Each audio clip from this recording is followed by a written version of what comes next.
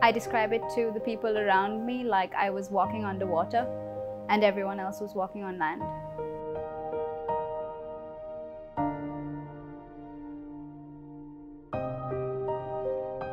I was 22 years old when I was diagnosed with ADHD.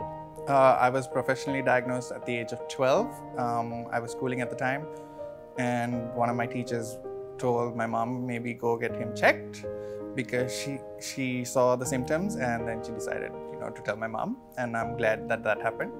I was 27, uh, which was quite recently, but I was suspected quite early on.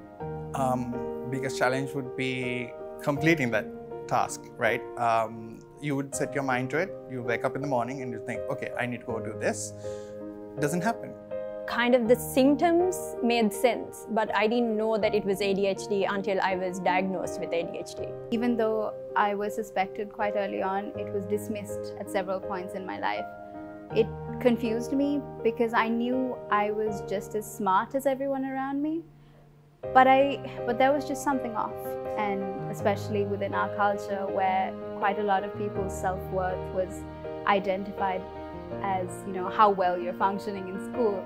Who doesn't want to function well in school? Studying, because I used to have a lot of friends who used to study for longer hours, one and a half hours or two hours at a stretch.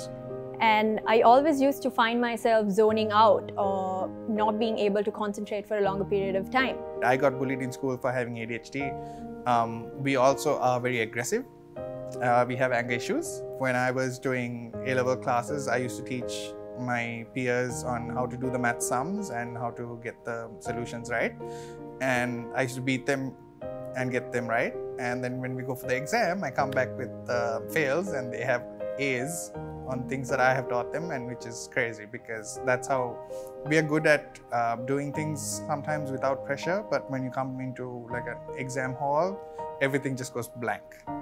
yes, I struggled to keep focus, uh, but I could always pick up enough to string things through. That affected me and my self esteem to the point where I gave up on a lot of things in life because of it. because you really have low self-esteem you start question i have this even now i start question myself like you know are you good enough to be even part of society being able to finally research on it on my own find people who had it uh, was great because then you don't feel alone. You have that sense of you know you belong and people understand. It was just it was tough.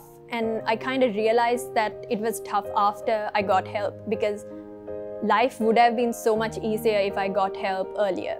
After i got help i was able to completely turn around my studies.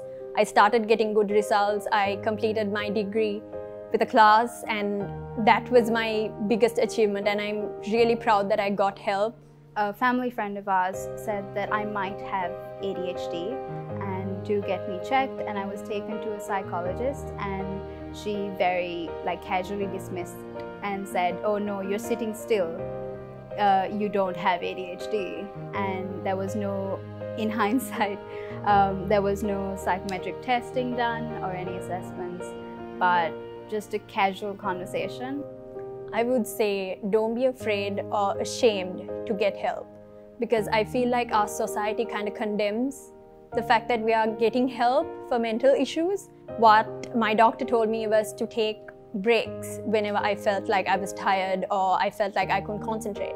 So my mood changed a lot because if I tried really, really hard to concentrate for long periods of hours, after few study sessions, I would feel very drained. we tend to shift interest very soon um, and that's completely fine. Just uh, remind yourself that that's a problem. And we also are very impulsive so keep an eye on your wallets and your bank account balance because that's very important. Um, i struggle with that every day.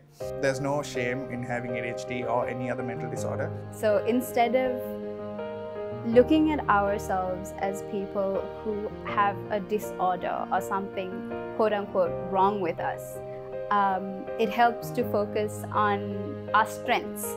Along with certain types of mental health um, issues, you develop certain things to, you know, resilience, tolerance, empathy, the ability to be able to think on the spot. I would say pay attention to the little details of your kids and be kind. I think parents should be informed and brought awareness about these situations. And I think that it should be normalized talking about things like this because I feel like most of the influencers now nowadays as well they mainly focus on brands about promoting brands but they are not talking about things that actually matter